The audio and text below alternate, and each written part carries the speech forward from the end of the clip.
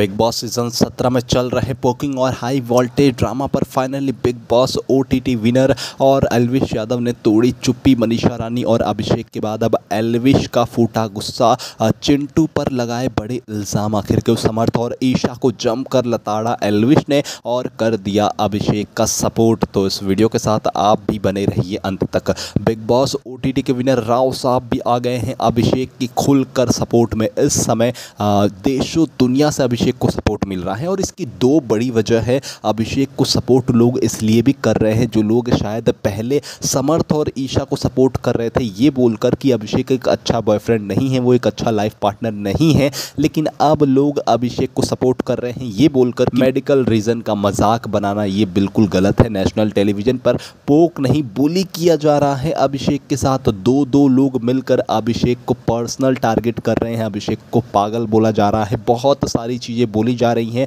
तो इस पर जनता का गुस्सा फूट रहा है। बड़े बड़े सेलिब्रिटी का बड़े बड़े यूट्यूबर्स हैं और इवन बिग बॉस ओटीटी के बड़े नाम मनीषा रानी एलविश यादव भी अब आ गए हैं खुलकर सपोर्ट में। मनीषा इस समय झलक दिखलाजा के शो में बिज़ी हैं और मनीषा ने भी इस समय अभिषेक का सपोर्ट किया है। ये कहकर कि किसी को भी इस तरीके से हरेस करना बिल्कुल गलत है। बिग बॉस एक गेम है, आप गेम को खेलिए, लेकिन गेम खेलने का मतलब ये नहीं है कि आप किसी की पर्सनल लाइफ को ही बर्बाद कर दो या फिर किसी को आप हर तरफ़ से नेशनल टेलीविज़न पर बदनाम करने पर तुल जाओ। एलविश यादव ने एक ट्वीट किया है और लिखा no doubt Chintu's entertaining some time but the way Isha and Chintu poke Abhishek is not healthy hashtag Bigg Boss season 17 Elvish Yadav ने कहा है कि समर्थ को लेकर और ईशा को लेकर जिस तरीके से पोक अभिषेक को किया जा रहा है, ये बिल्कुल सही नहीं है, ये बंद होना चाहिए। और इवन कटारिया भी इस पर रिएक्शन दे चुके हैं। कटारिया ने भी कहा है कि फ़िलहाल के लिए अभिषेक भाई को फुल सपोर्ट है, अभिषेक के साथ जो भी हो रहा है, वो बिल्कुल गलत हो रहा है।